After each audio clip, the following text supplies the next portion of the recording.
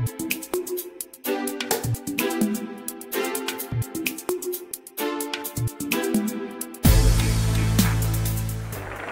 it is, of course, the Paso Doble.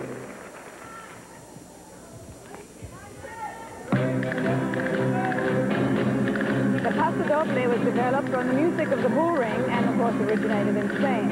If you watch carefully, you'll see that some of the step patterns resemblance to the actual maneuvers and passes of the cape used by the matador. It's easy to see why this dance is considered the dancer's dance.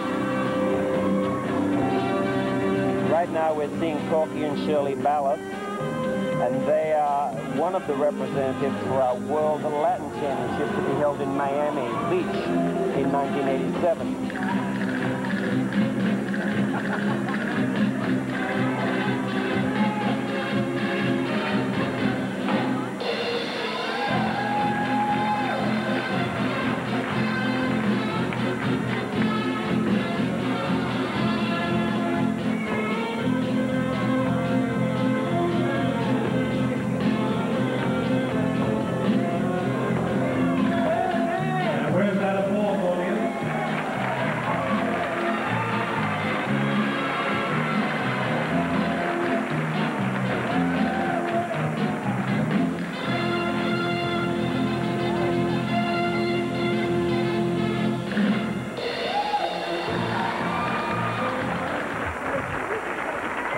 Now, audience, aren't they marvelous?